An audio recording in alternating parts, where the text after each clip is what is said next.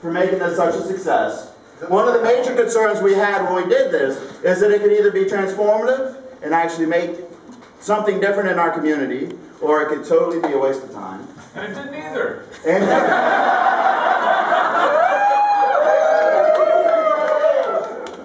so I would like to have a small toast. So I'm gonna open this now. And it's both of the code, so I'd rather not shower people with it. So I'm not going to say I'm going to.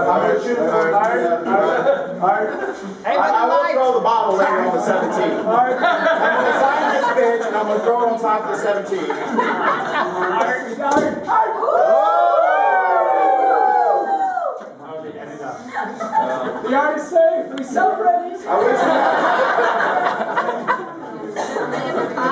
I'll drink it out of the bottle.